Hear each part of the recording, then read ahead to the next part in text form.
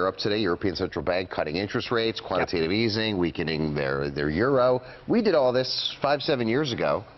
But now you don't like it when Europe's doing it. No, it's a loser. It's, it's a loser to me. Okay. It- It's a it's a historic day, and it's not like we landed on the moon, but it's historic in the sense that Europe is joining the party of monetary easing aggressively. It's the financial bazooka, if you will.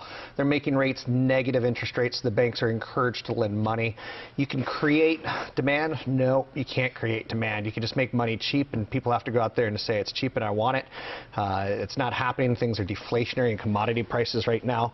Um, they're doing a quantitative e- uh, easing. They're doing an asset purchase. It was a financial bazooka. Europe is considered a, a lot more conservative bankers, but yeah, they're copying us at this point in time. Desperate times call for it. Uh, world growth is anemic, and there's not a lot of inflation.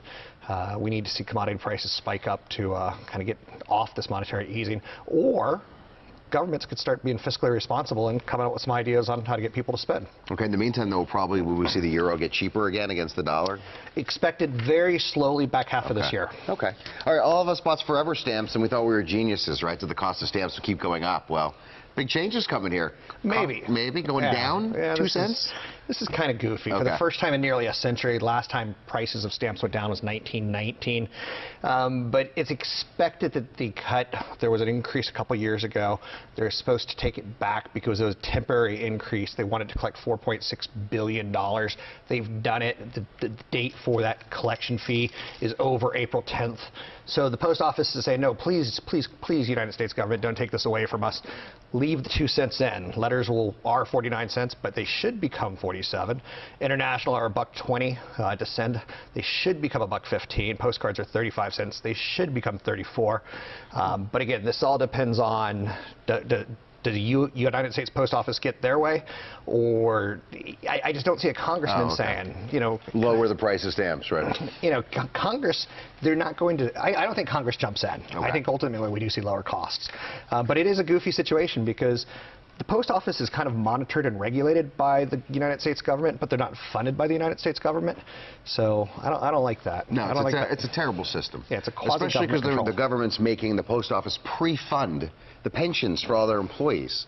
So uh, the reason the post office is in such debt is because of congressional rules, not because of how they operate. I would like them to become independent and, Yeah. and turn a profit as much as they can. That would be very nice for all of us. And uh, then we've got the soda industry, and we're seeing you know new pushes for taxes on sugary drinks. It's amazing how much less soda Americans are drinking. We can tax anything that's sin-oriented, Okay. um, cigarettes, sex, alcohol, and we could actually tax um, soda as well. But you're, you bring that up because here we are raising taxes on soda, or trying to, and yet consumption's going down aggressively. In the last 15 years, per capita, 53 gallons per capita is now down to 41 gallons per capita in the United States. That's about 20% shaved off. And again, that continues to drop. If you go into a business meeting now with a Diet Coke, it's almost like going into a business meeting with a pack of cigarettes. It's just frowned upon.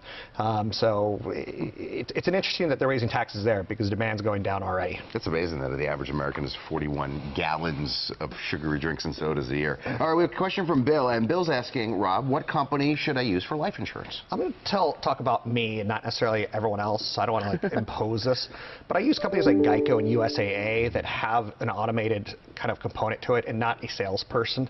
Um, it ultimately has a business model that leads to cheaper costs, whether it's for your home, whether it's for your auto, whether it's for your life insurance. I don't like the insurance salesperson. I know a lot of people in our crowds are groaning right now, but that middleman, he has to make a dollar, and he ultimately makes it off you, the consumer, and the corporation makes a dollar.